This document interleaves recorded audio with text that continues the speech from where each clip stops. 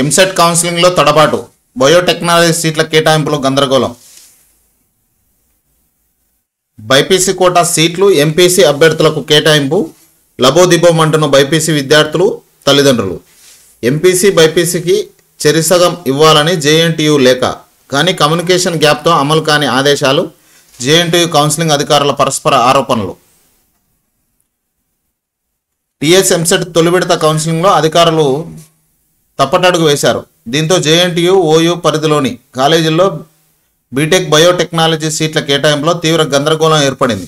నిబంధనల ప్రకారం ఆయా కాలేజీల్లో బీటెక్ బయో బయోటెక్నాలజీ సీట్లు అరవై ఆరు ఉండగా ఎంపీసీ బైపీసీ అభ్యర్థులకు చెరిసగం కేటాయించాల్సి ఉంది. ఆదివారం జరిగిన కౌన్సిలింగ్లో అన్ని సీట్లను కౌన్సిలింగ్ అధికారులు ఎంపీసీ అభ్యర్థులకు కేటాయించారు. దీనిపై పలువురు విద్యార్థులు తల్లిదండ్రులు జేఎన్టీయూ ఉన్నతాధికారులు సంప్రదించారు. ఈ విషయం వైస్ ఛాన్సలర్ కట్టా నరసింహారెడ్డి దృష్టికి వెళ్ళడంతో కౌన్సిలింగ్ అధికారులను వివరణ కోరారని రిజిస్టర్ మంజూరు హుస్సేన్కు ఆదేశించారు.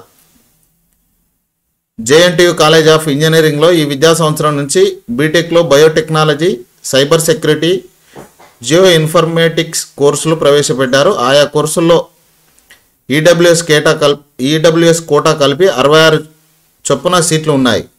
బయోటెక్నాలజీ సీట్లను మాత్రం ఎంపీసీ బైపీసీ విద్యార్థులకు యాభై శాతం చొప్పున కేటాయించాలని ఉన్నత విద్యా మండలి కార్యదర్శికి ఉత్తర్వులు పంపారు. కానీ కౌన్సిలింగ్ అధికారులు జేఎన్టీయూ రిజిస్టర్ సూచనను విస్మరించారు. దీంతో బైపీసీ కోటా సీట్లు కూడా ఎంపీసీ అభ్యర్థులతోనే భర్తీ అయ్యాయి. హైదరాబాద్లోని సిబిఐటి కాలేజీలోని బయోటిక్ బయోటెక్ సీట్ల విషయంలోనూ ఇదే తరహా గందరగోళం ఏర్పడింది. జేఎన్టీయూ కౌన్సిలింగ్ అధికారులు తప్పు తమది కాదంటే తమది కాదని అంటున్నారు. సమాచారంలో స్పష్టత లేకనే మొదటి విడతలో సీట్ల కేటాయింపుపై జేఎన్టీ అధికారులు సిబిఐటి యాజమాన్యం నుంచి స్పష్టమైన సమాచారం అందకపోవడమే ఈ గందరగోళానికి కారణమని కౌన్సిలింగ్ అధికారులు చెబుతున్నారు.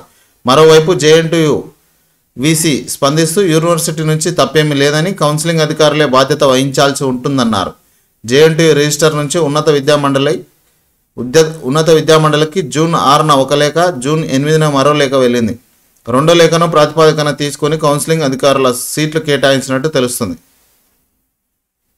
వాస్తవానికి మొదటి లేఖలో పేర్కొన్న చెరో యాభై శాతం సీట్ల కేటాయింపు అంశాన్ని జేఎన్టీ అధికారులు రెండో లెటర్లో పేర్కొనలేదన్న పేర్కొనకపోవడమే ఈ గందరగోళానికి కారణమైందని అంటున్నారు. జేఎన్టీ అధికారులు పంపిన రెండు లెక్కల్లో మొదటిదాన్ని ఉన్నత విద్యామండలి కార్యదర్శి కౌన్సిలింగ్ అధికారులకు పంపకపోవడం కా కూడా మరో కారణం చెబుతున్నారు.